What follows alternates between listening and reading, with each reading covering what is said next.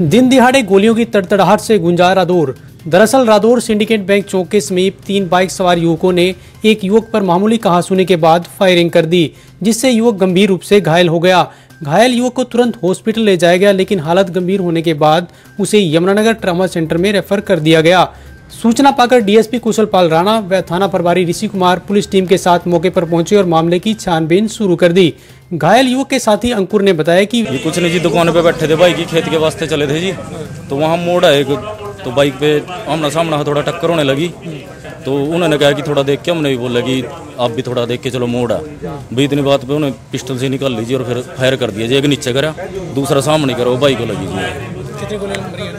दो चलाई जी दो फायर गए मैं तीन थे जी दो बाइक पे वहीं इस बारे थाना प्रभारी ऋषि कुमार ने बताया कि वह मामले की छानबीन कर रहे हैं। जाँच के आधार पर ही आगामी कार्रवाई अमल में लाई जाएगी। इसकी जाँच की जा रही है। सीसीटीवी कैमरा खंगाला जा रहा है। उसके बाद कार्रवाई की जाएगी। नाकेबंदी करा दी गई है प्रथम दृष्टि क्या लग रहा है वैसे सर? कोई दुश्मनी वगैरह या कुछ बातचीत हुई नहीं वो एक लड़का है वो बता रहा जी मोटरसाइकिल टकराई थी उसके कारण विवाद हुआ है उससे गोली चलाई गई बाकी उसके बयान लेने के बाद ही पता लगेगा क्या है, क्या नहीं। खैर, जो भी हो, लेकिन दिन दिहाड़े एक वेस्ट चौक पर इस प्रकार फायरिंग की घटना से लोगों में दहशत का माहौल है। अब देखना होगा कि पुलिस कितनी जल्द इन हमलावरों तक पहुँच पाती है। R T Bharat news dot com.